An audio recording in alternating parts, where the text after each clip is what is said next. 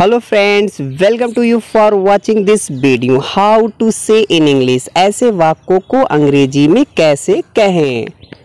जैसे, यहाँ मछलियाँ ही मछलियाँ हैं। जैसे, यहाँ बंदर ही बंदर हैं। और, यहाँ पानी ही पानी है।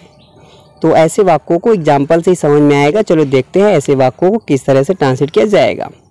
तो देखिए, यहाँ पानी ही पानी है, यानी यहाँ पानी है, पानी के सिवाय यहाँ पर कुछ नहीं है।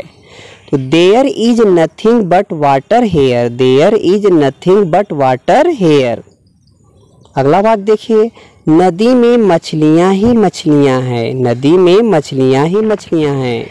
तो इंग्लिश में ट्रांसलेट किया जाएगा there is nothing but fish in the river अगला बात देखिए, बगीचे में फूल ही फूल है। बगीचे में फूल ही फूल है। तो there is nothing but flowers in the garden there is nothing but flowers in the garden अगला बात देखिए, रोड पर कार ही कार है। रोड पर कार ही कार है। तो there is nothing but cars on the road there is nothing but cars on the road अगला बात देखिए, यहाँ सोना ही सोना है, यहाँ सोना ही सोना है।